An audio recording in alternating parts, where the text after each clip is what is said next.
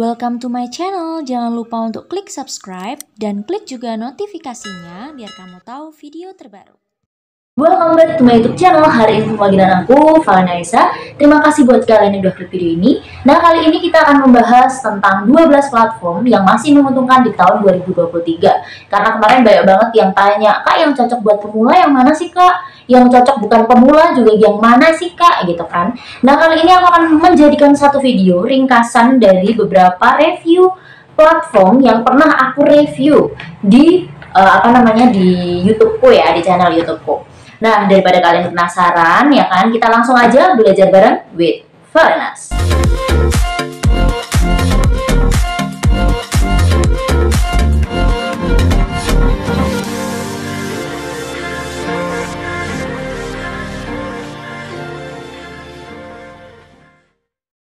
Guys, nah yang pertama yang akan aku bahas adalah novel ID.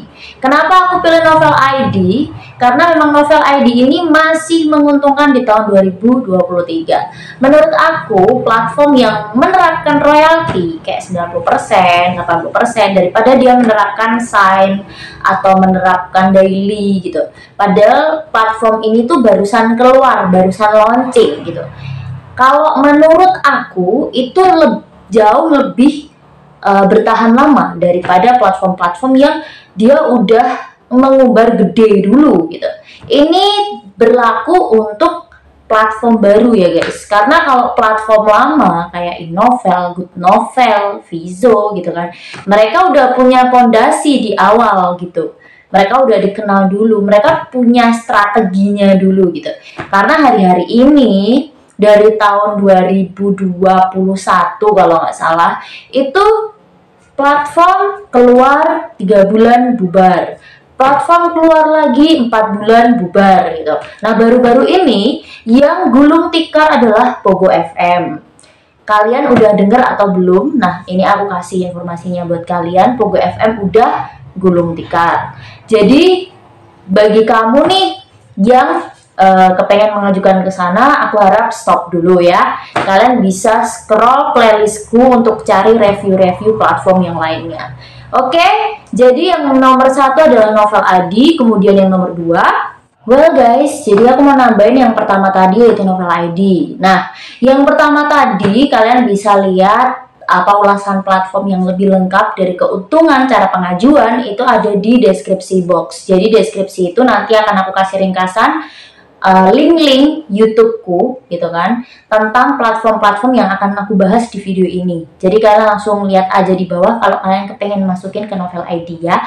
Terus sekarang kita bahas ke novel yang kedua yang rekomendasi untuk 2023 adalah Story ID. Kenapa? Story ID itu menerapkan sistem royalti juga. Dia awalnya membuka untuk menerima naskah tapi nanti ada jeda lima bulan sebelum dia menjadi naskah X. Jadi nanti lima bulan itu sambil nunggu naskahmu lolos atau enggak akan di non X. Jadi di situ kamu bisa dapat penghasilan dari pembagian iklan. Nah nanti kalau lima bulan dirasa lolos nih naskahmu, baru akan ke X. Menurut aku ini cocok buat pemula. Kalian yang baru coba-coba, kalian yang baru mulai gitu kan. Kalian bisa nyoba yang kayak gini kalau kayak gini aja kalian nggak berani, apalagi kalian masuk ke platform berat kayak novel, Vizo. Nanti aku bahas di belakang kenapa platform-platform itu berat. Oke, okay? karena kalau aku sih dulu salahnya aku itu langsung ke platform berat gitu dan aku harus nyelesain cuma aku apa ya namanya tabrak aja gitu tantangan itu gitu jadinya ya udah akhirnya aku masuk ke Inovel, terus aku masuk ke Good Novel gitu. Kalau kalian siap, walaupun kalian pemula nggak apa-apa gitu, karena di sana targetnya cukup gede apalagi tahun ini.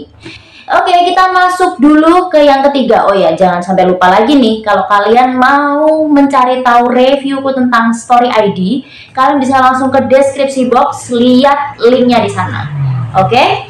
Oke, kita lanjut ke yang ketiga. Nah, untuk yang ketiga ini adalah Best Story ID. Ini jelas aku udah pernah bikin video reviewnya. Nah, ini juga hampir sama sih seperti Story ID, yaitu dia 5 bulan dulu nih masa menunggu.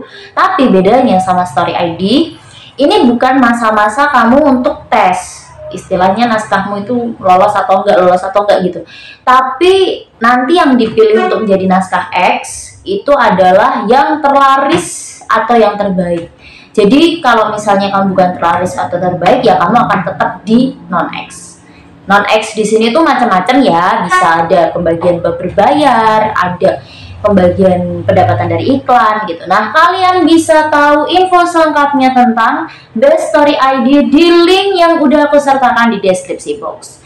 Oke, kita lanjut yang keempat. Well, untuk yang keempat, ini adalah platform yang aku rekomendasiin di tahun 2023, yaitu Cabaca. Reviewnya udah aku bikin, di sana tertulis 2022 tapi masih berlaku sampai 2023. Jadi kalian langsung aja bisa ke deskripsi box. Nah, aku kasih rincian ringkasnya. Jadi di Cabaca ini itu sistemnya royalti juga. Jadi nanti dari pembagian bab berbayar.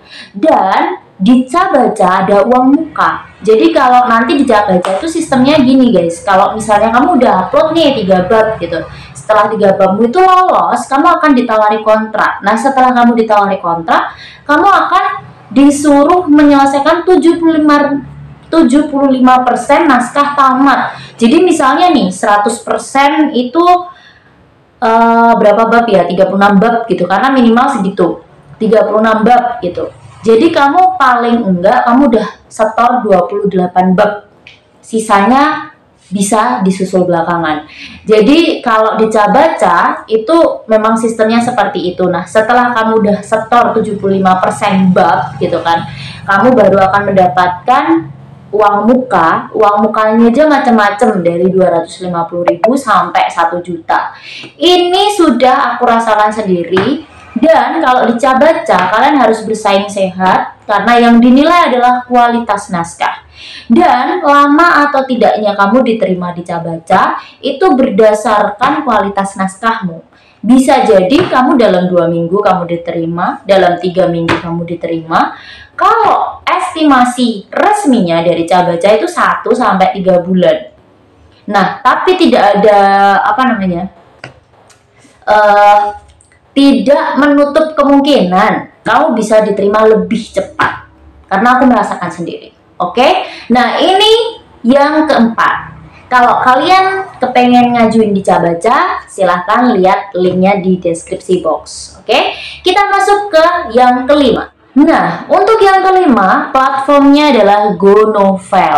GoNovel atau bisa dibilang Sago Novel. Nah, ini adalah platform yang menurut aku cocok buat pemula, guys. Jadi, apa ya namanya? Kalau di GoNovel tuh seru karena pembaca itu justru akan mendapatkan cuan. Terus penulis juga akan mendapatkan cuan. Jadi di sini pembaca dan penulis itu akan mendapatkan cuan sama-sama gitu. Terus enaknya lagi e, cara promosinya lebih gampang karena kan sekarang banyak tuh pembaca yang kepengen baca gratisan. Langsung aja kalian jaring ke Go Novel. Kenapa enggak gitu? kalian bisa uh, apa namanya mendapatkan penghasilan tambahan dengan menyebarkan undangan ke mereka gitu kan buat baca novel kalian sekaligus kalian mendapatkan poin dari share undangan juga gitu. Jadi ini tuh Go Novel sama Sago Novel ini keuntungan buat penulis banyak banget. Selain dari pembagian bab berbayar, terus dari pembagian bab iklan karena dia buka kuncinya itu berdasarkan nonton iklan gitu istilahnya kayak gitu. Nah kalau banyak yang nonton iklan penulis juga akan tambah penghasilan. Itu sistemnya di GoNovel nah kalau kalian kepengen lebih jelas lagi dari GoNovel apa aja yang kalian dapetin kalian bisa langsung klik aja linknya di deskripsi box karena ini masih rekomendasi di tahun 2023 oke kita masuk ke yang ke-6 Oke guys, yang keenam ini adalah FemInc, Vinovel atau yang kita kenal dengan novel lah. Sistem hampir sama seperti Go Novel dan aku udah review di tahun 2022 dan itu masih berlaku sampai sekarang belum berubah ya. Jadi kalian wajib lihat di playlistku. Itu kan biasanya ada lima bulan yang lalu gitu kan, ada postingan tiga bulan yang lalu gitu. Kalian selalu cari platform-platform dengan postingan terbaru ya. Kalau postingan terbaru udah ada tahun 2023 atau misalnya aku bilang kayak gini ternyata yang 2022 itu masih berlaku dan belum ada yang terbaru berarti kalian masih bisa buka itu video. Tapi kalau sudah ada yang terbaru kalian bisa scroll yang paling baru ya. Karena aku akan selalu memperbaharui platform-platform yang uh, akan menguntungkan buat kalian. Nah, buat aku fem ink atau yang namanya novel lah gitu kan. Ini juga hampir sama cara kerjanya dengan Go Novel. Malah uh, apa namanya lebih gampang juga. Dan ini yang baca di situ ada gembok, ada gembok-gembok itu nggak bayar guys. Jadi kalian kalau bacanya di novel lah ya, itu kalian cuma tonton iklan, klik buka gembok gitu kan, terus tonton iklan nanti bisa terbuka babnya. Nah, ini sangat menguntungkan buat kita penulis karena pembaca dapat cuan, penulis juga dapat cuan. Jadi sama-sama untung. Kita ngundang pembaca untuk baca novel kita aja kita dapat poin. Karena dia otomatis akan download aplikasi novelah juga gitu. Jadi apa ya selain kita menulis kita kan juga harus pinter promosi. Nah buat aku yang cocok buat pemula adalah fem go novel. Itu cocok banget karena gampang banget cari pembaca guys. Karena pembaca-pembaca sekarang kan banyak banget yang kepengen baca dengan gratis gitu kan. Nah kita lanjut dulu ke platform yang ke 8 eh sorry ya kan? Tadi itu keenam sekarang ketujuh guys. Jadi yang ketujuh ini yang akan aku sampaikan adalah short novel. Nah short novel ini itu masih rekomendasi di tahun 2023 why? Karena di short novel kamu bisa mengajukan cerpen bisa mengajukan novel bisa mengajukan artikel. Nah di sini itu semua bisa bergabung uh, dengan mudah juga gitu kan. Apalagi kalian yang belum bisa nulis novel kamu bisa nulis cerpen masukin ke sini dan dapat cuannya lumayan gede juga. Dan ini masih bertahan sampai saat ini platformnya dan kalian bisa langsung coba ke sana. Dan kalau di Facebook gitu ya itu banyak banget komunitas-komunitas short novel dan gampang banget juga buat promosinya. Oke okay, kita masuk ke yang kedelapan. Nah, kalau platform yang dari 1 sampai 7 tadi masih uh, rekomendasi di tahun 2023 dan cocok buat kalian para pemula. Sekarang aku kasih platform yang cocok buat kalian yang biasa nulis, yang udah sering nulis yang pertama ini, yang nomor 8 bukan yang pertama ya. Nomor 8 adalah good novel. Nah, good novel kenapa aku kasih ke kalian yang udah biasa nulis? Memang uh, kayak gajinya tuh besar, pendapatannya gede, tapi kalian juga harus uh, mengikuti tantangan di good novel. Karena apa? Dailynya kalian mampu atau enggak gitu kan. Promosi sambil kejar tayang tiga eh satu bulan itu 60.000 kata atau 50.000 kata gitu. Kalian harus full gak boleh bolong bolongnya minimal eh maksimal tuh dua kali gitu kan. Nah kalian bisa banget lihat link di bawah tentang good novel udah aku sertakan juga kalian bisa tahu keuntungannya gimana cara pengajuannya gimana gitu ya nah di good novel sendiri itu memang aku baru upload tuh 2022 kemarin dan masih berlaku sampai sekarang kayaknya ada yang udah 2023 nanti yang aku cantumin adalah 2023 oke okay? nah Oke, okay, di sini tuh apa namanya? Kalau good novel aku bilang PF berat karena dia kualitasnya juga uh, saingannya tuh bagus-bagus. Kalau kamu kepengen masuk ke sana, aku saranin kalian harus riset. Kemarin tuh ada yang saran ke aku, kak coba dong kakak bikin video tentang riset beberapa platform yang lagi in genre apa. Oke, aku bakal bikin video buat kalian, tapi mungkin gak minggu ini ya, minggu depan ya aku akan cari materi buat itu biar kalian tahu oh kalau aku masuk platform ini aku akan buat genre ini. Oh kalau aku masuk platform ini yang lagi in genre ini aku bakal bikin genre ini gitu.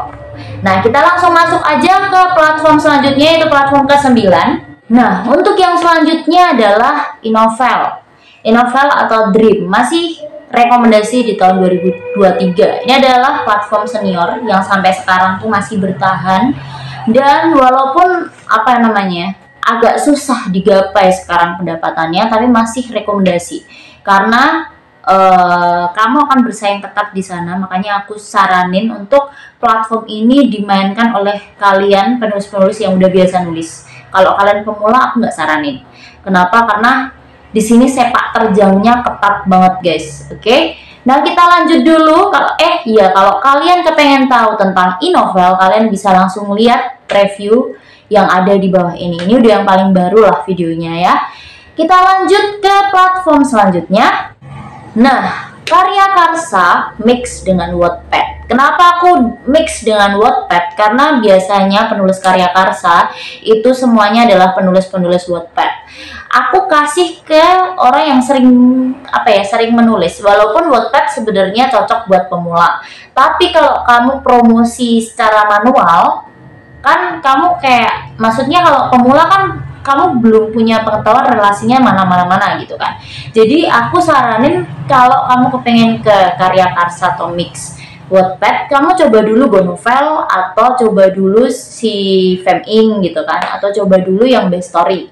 Kenapa? Karena di sana kan kamu dibantu untuk promosi gitu kan. Apalagi cak baca itu dibantu untuk promosi. Jadi nanti kamu punya peluang mengumpulkan pembaca dulu gitu. Nah nanti kalau kamu sudah punya pembaca dan lumayan relasinya baru kamu coba Wattpad mix apa namanya karya karsa. Karena di situ kamu kayak manual gitu loh. Kamu cari promosi sendiri kamu nulis sendiri gitu. Walaupun ini cocok buat pemula karena gampang banget untuk uh, apa ngolahnya gitu Oke, kita lanjut untuk platform selanjutnya. Nah, platform selanjutnya ini adalah KBM. Nah, kalau KBM kalian udah pada tahu lah, ini sistemnya jelas royalti. Nah, sistem royalti ini pasti akan bertahan lama. Buktinya KBM juga bertahan sangat lama.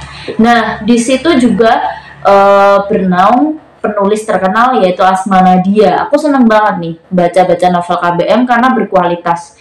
Terus di sana sistemnya juga berkoin. Jadi apa ya? Menurut aku KBM ini cocok buat kalian yang udah biasa nulis karena promosinya itu lebih alot, lebih apa ya? Lebih ketat gitu karena uh, apa namanya penulis-penulis KBM itu punya kualitas naskah yang oke-oke. Jadi kalau kalian kepengen ke KBM, kalian coba dulu yang aku kasih di awal tadi, kalian coba nulis di sana dulu, baru kalian masuk ke KBM. Terus yang selanjutnya atau yang terakhir adalah Joylada. Joylada hampir sama seperti KBM. Dulu cocok sih untuk pemula Joylada dan KBM itu. Tapi kalau Joylada kan sistemnya memang royalti, ya kan? Nah, di sini tuh sistem joy. Jadi yang ngeliat yang kasih joy gitu kan.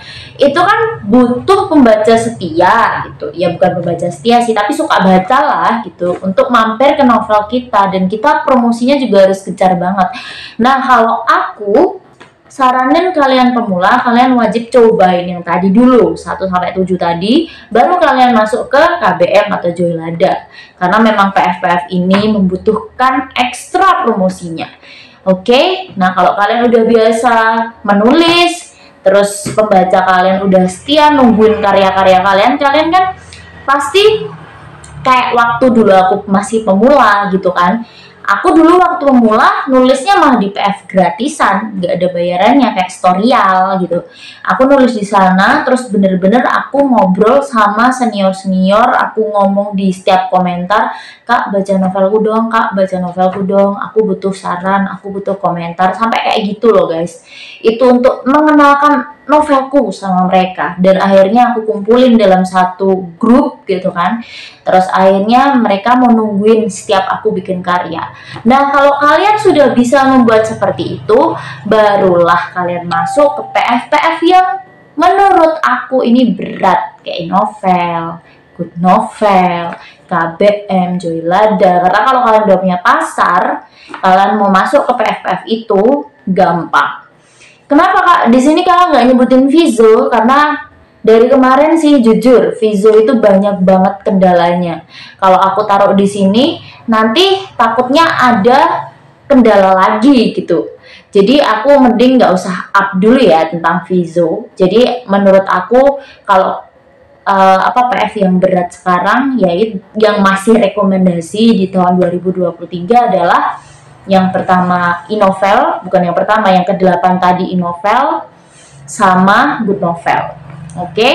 Nah, inilah 12 platform yang masih aku rekomendasiin di tahun 2023. Aku bakal kasih beberapa review platform lagi. Mungkin ada yang terbaru karena semakin banyak tahun nih, semakin banyak platform-platform yang muncul. Sekalinya muncul, pasti aku bakal langsung share videonya ke sini. Oke, jadi kalian tenang aja. Nah, kalau kalian kepengen tahu satu persatu ulasan lengkapnya, aku sudah ringkaskan di deskripsi box. Kalian bisa langsung lihat di deskripsi box mana aja yang kalian kepengen lihat videonya. Udah aku siapin. Itu video-video yang masih berlaku saat ini. Oke, walaupun tahunnya 2022 berarti masih berlaku guys. Jadi kalian bisa langsung ajuin aja. Nanti kalau misalnya ada yang terbaru, kalian bisa masuk ke Telegram aku ya. Telegramku ada di deskripsi juga grup Telegram untuk promosi.